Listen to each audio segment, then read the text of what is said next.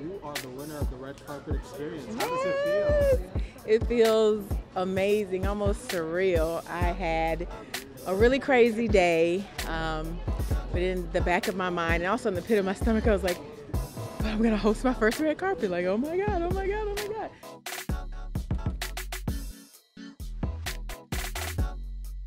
So it's just, it's very surreal. I think it will probably be more realistic like tomorrow when I wake up. Like, but it was such a good experience. Um, I'm so appreciative for this opportunity. I learned so much in the class um, that prepared me for today. So that was amazing. Um, so I can still hear the, the voice.